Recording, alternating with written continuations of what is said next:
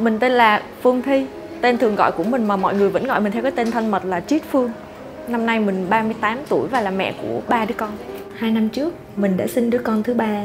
Sau khi sinh con mình đã lên 60 kg Và mình đã cảm thấy dấu hiệu lão hóa. Lúc đó mình cảm thấy thiếu tự tin rất nhiều Và mình đã quyết định thay đổi. Vì mình cũng đã bước vào độ tuổi trung niên rồi Nên cơ thể không còn dẻo dai như ngày trẻ nữa. Tập yoga giúp mình có thêm nhiều năng lượng Để chăm sóc gia đình và con cái.